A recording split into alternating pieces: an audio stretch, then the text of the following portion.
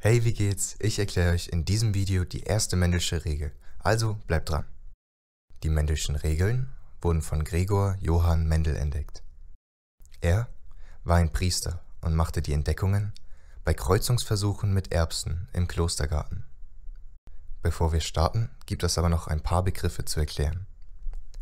Der Phänotyp ist das, was ihr sehen könnt. Ein klares Beispiel ist, dass es zum Beispiel schwarze und weiße Kühe gibt. Das sind zwei unterschiedliche Phänotypen. Der Genotyp sind alle Gene von einem Organismus zusammen. Das heißt, der Genotyp umfasst die gesamte DNA. Ein Allel ist eine Variante eines Gens. Das bedeutet, dass ihr zum Beispiel ein Allel für schwarze Haare haben könnt und auch eins für blonde Haare haben könnt. Das wäre dann der Genotyp, da ihr beides habt.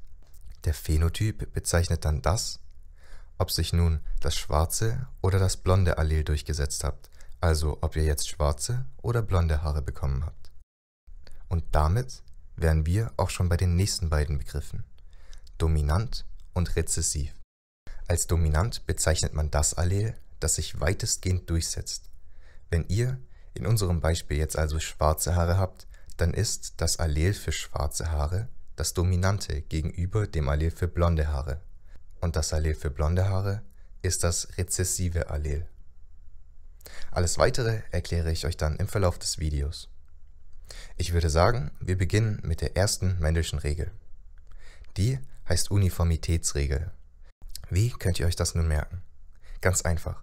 Beim Militär tragen ja alle dieselbe Uniform und sehen dadurch alle gleich aus.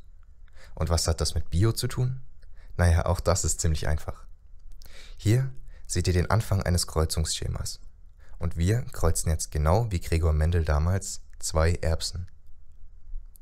Hier habt ihr die erste Generation, die P-Generation, auch Elterngeneration genannt. Und wir kreuzen jetzt eine rote mit einer weißen Erbse. Das sind die beiden Phänotypen, also rot und weiß.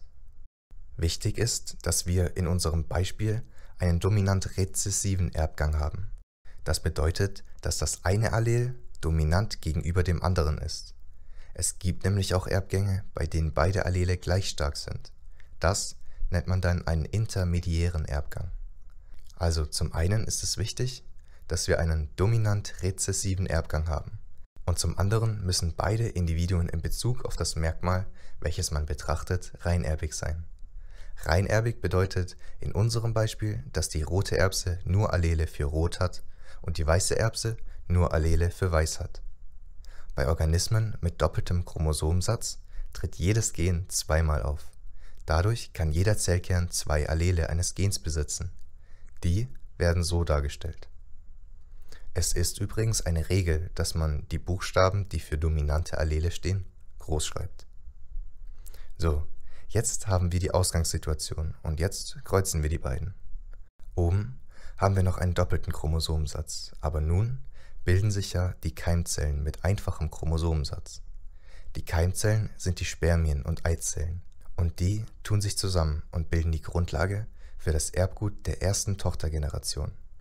Diese nennt man die F1-Generation. Am Genotyp der F1-Generation könnt ihr sehen, dass die neu entstandenen Individuen alle denselben Genotyp bezüglich dem Merkmal Farbe haben. Als kleine Übung pausiert das Video doch jetzt gleich und überlegt euch, wie der Phänotyp der Individuen aus der F1-Generation sein wird. Wenn ihr denkt, dass sie alle rot sind, dann habt ihr recht und das Prinzip der Uniformitätsregel verstanden. In einem Satz ausgedrückt sagt die Uniformitätsregel nämlich, dass wenn man Individuen einer Art kreuzt, die sich in einem Merkmal unterscheiden, für das sie aber beide reinerbig sind, dann werden die Nachkommen in der F1-Generation im Genotyp alle gleich sein. Bei einem dominant rezessiven Erbgang, wie in unserem Beispiel, und auch in fast allen Schulaufgaben zur ersten Mendelschen Regel, ist auch der Phänotyp für dieses Merkmal bei allen gleich. Das bedeutet hier, dass alle Erbsen in der F1-Generation rot werden.